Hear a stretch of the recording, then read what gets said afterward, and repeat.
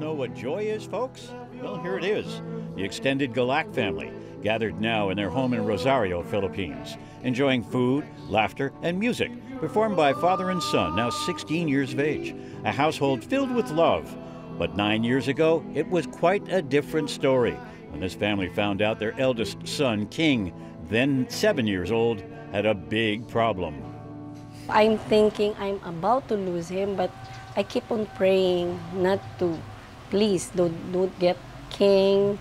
Uh, I will not ready for that, and I, I have so I have so many dreams for him. King was diagnosed with a heart defect, which, if left untreated, would claim his life. Back in 2013, we visited the Galac family at their home in Rosario, the Philippines, and we talked about King's condition and how they managed to successfully apply to the Herbie Fund for treatment. Uh, they found out that there's a murmur on the upper part. They advised us to go to a, a cardiology. I had a sleepless nights. How can my son survive? Uh, because they advised us to go on the surgery. He feels chest pain and he feels that his yeah. heart beats fast. The problem with our patient is that there's a hole. The ASD of Richard King is quite big because there's a certain extent that the heart muscle can accommodate blood, but when it is beyond its capacity, it eventually it goes into heart failure. We're talking about heart failure. Yes. Death. Yes. So what we will do, so I just keep on praying, I just keep on looking who will help us to, for King's uh, procedure. How did you find the Herbie Fund? What happened there? Actually, my sister-in-law lives there.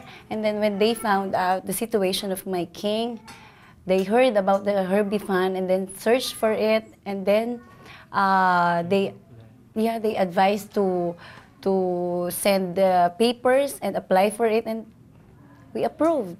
So King and his mom pack their things and prepare for the long journey ahead. The next time we see them is here at the Hospital for Sick Children in Toronto. Now the family was hoping for a repair procedure using a catheter, which is much simpler and far less invasive. But after some imaging was performed, it was clear he needed open heart surgery. Cardiac surgeon Dr. Edward Hickey took the reins and the repair began with Mom and Auntie Elsie nervously waiting for the result. We asked King what was life like before the surgery and what he remembered about his stay in hospital.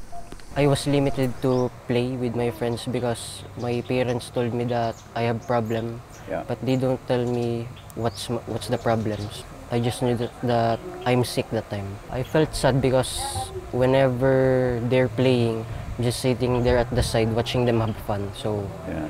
it's sad, but it's okay. I can't really remember the nurses, but I remember Dr. Hickey who operated me successfully. And they were so nice to me, even the nurses, even if I don't even know their names.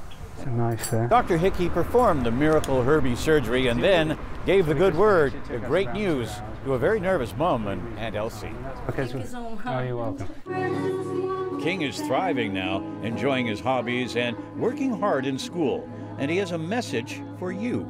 Thank you very much for the donations and I hope you can help a lot of children like me. And I would say thank you very much for the help and I would say I wouldn't be here if you weren't there. You meet these children and they're tremendously grateful parents and you understand why we keep doing this work and we need your support to keep doing it. So please, if you can, make a donation at herbiefund.com. Going the distance to save the lives of children. I wouldn't be here if you weren't there. Watch for a world of difference. Still alive and kicking. All this week on City News, brought to you in part by Delta Airlines.